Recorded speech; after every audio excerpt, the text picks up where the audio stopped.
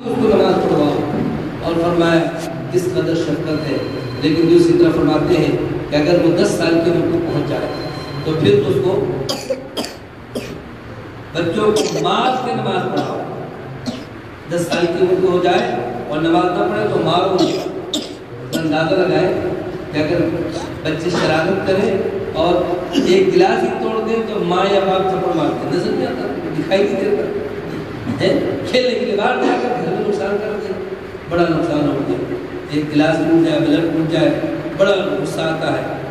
एक दिन स्कूल न जाए, बड़ा गुस्सा आता है मार दें कोई भी उसके फ़ायदे की चीज़ जो हमारे जहन में है, अगर वो उसको हासिल न करे, नुकसानदेह चीज़ वो त्याग करने में गुस्सा आता है तो सबसे बड़ा फ़ायदा ये है कि वो नमाजी बन जाए। सबसे बड़ा नुकसान ये है कि वो बेनमाजी बने और फिर जब टहनियाँ हरी होती है छोटी छोटी होती है, उनको जिधर चाहो मोड़ दो, मुड़ जाएँगे इसीलिए तो इस उम्र में नमाज़ का हुक्म दिया कि सात साल के बच्चे को डांट डपट करके, तंबी करके नमाज़ पढ़वाओ। तो उस वक्त तो हम उस पर बड़ी शफकत और मेहरबानी करते हैं, उसे सोने देते सोते रहे।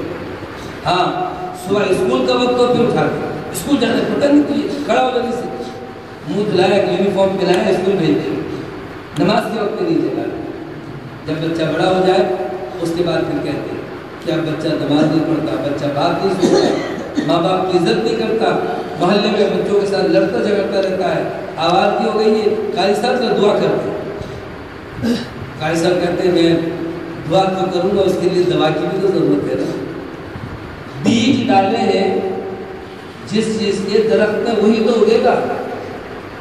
तो जो तरबियत है, वो बीज की तरह से है। जब बच्चे बड़े हो गए, अब चाहते हैं कि हमने बीज तो डाले थे गंदम के, लेकिन इस पर सेब चाहिए हमें। दुआ कर दो खाली साहब से दुआ कर दो कि इस पर सेब उगे। जो बीज डालोगे, वही फ़सल उगेगी, वही कुछ काटोगे, उसके लिए ये भी ज़रूरी है कि पहले हम खुद नमाज़ के पाबंद हों। हम खुद कुरान की तिलावत करें।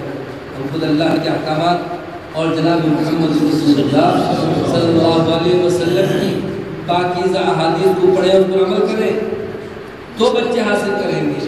जदीद तहकीक के मुताबिक। बच्चों को जो कि अभी बोलना भी नहीं जानते, बड़े तो दूर की बात है, अभी साल, डेढ़ साल का बच्चा है, आप उसे कुछ कहना चाहते हैं, आप किस तरह से कहेंगे? कुछ कहने की ज़रूरत नहीं है, जो आप करेंगे वो बच्चा करेगा।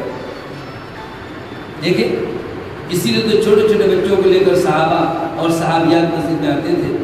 और रहमत आलम सल्लल्लाहु अलैहि वसल्लम फरमाते हैं कि मैं नमाज़ में तबीर क़याम का इरादा करता और लंबी तिलावत का सोच करके नमाज़ शुरू करता हूँ और फिर मुझे बच्चों के रोने की आवाज़ आती है। इस डर से मैं तिलावत मुख्तसर कर देता हूँ कि बच्चे के रोने से उसकी माँ की तकलीफ़ ना हो। ये नहीं कहा कि बच्चों को लेके ना आओ। तो माएँ आएँगी बाप आएँगे, बच्चों को भी लाएँगे तो बच्चे नमाजी बनेंगे ना? तो उस उम्र में लाने की ज़रूरत है, जिस उम्र में सिवाय रोने की कुछ नहीं आता लेकिन आँखें खुली हुई वो देख रहे यही वजह है कि साल, डेढ़ साल का बच्चा जो बोलना नहीं जानता, लेकिन वो भी हाथ बाँध के खड़ा हो जाता है, चाहे सीधा हाथ ऊपर हो या नीचे हो। फिर वो रुकू करना नहीं आता तो सीधा सजदे में लेट जाता है।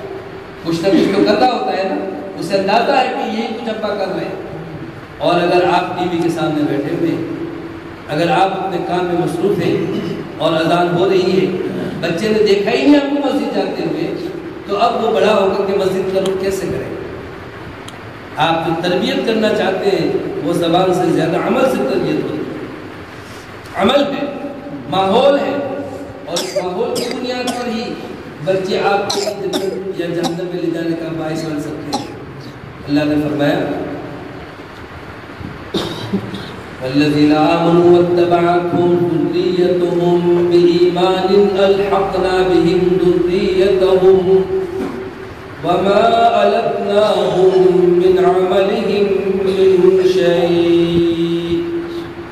वो लोग जो ईमान लाए और उनकी औलाद ने ईमान की हालत में उनकी पैरवी की है उनके पीछे पीछे चले तो अलहकना भी हम जन्नत में कम दर्जे वालों को उनके बुलंद दर्जे वालों के साथ मिला दें। इन बच्चों को भी उनके माँ बाप के साथ बुलंद दर्जा अदा कर देंगे और उनके अमाल में से कुछ कमी नहीं करेंगे। ये नहीं कहेंगे कि बुलंद दर्जे वाला नीचे आ जाए, हम इसको तो ऊपर दर्जा नहीं दे सकते, इसने तो इतना अमल किया ही नहीं। ये अल्लाह की शान करेंगी लेकिन अगर माँ बाप सिरे से अमल ही नहीं करते और चाहते हैं कि बच्चे देख बन करके वारिस बन जाए वो वारिस नहीं बनेंगे जन्नत के लिए, वो सिफारिश नहीं बनेंगे, बल्कि अगर उन्होंने नमाज़ नहीं पढ़ी और बुज़ुर्ग नमाज़ पढ़ते रहे माँ बाप नमाज़ पढ़ते रहे बच्चों को तरबियत नहीं दी तो कल क़्यामत के दिन यही बच्चों के हाथ होंगे, हमारे गिरबान होंगे। अल्लाह, मैंने नमाज़ नहीं पढ़ी। अल्लाह, मैंने नमाज़ नहीं पढ़ी। इसलिए कि बाप का खुद हमें कभी नहीं कहा। खुद जाता था नमाज़ पढ़ने माँ ने नहीं कहा। इसलिए ज़रूरत इस बात की है कि वो सकूँगा अपने आप को, अपने अहल को जहनम के आग से बचाएँ व खुद वंदा उसमें गुजारा जिसका ईंधन इंसान और पत्थर है। अलैहि दिलातुम शिदातुम ला यासुल्लाह मा अमरहुम। उन पर ऐसे फरिश्ते मुकर्रर हैं जो बड़े ही सख्त मिजाज के, बड़े ही कुवत और ताकत वाले हैं। वो ना फरमानी नहीं जानते। जो हुक्म दिया जाए बस दिया जाए। बस वही कुछ करते हैं।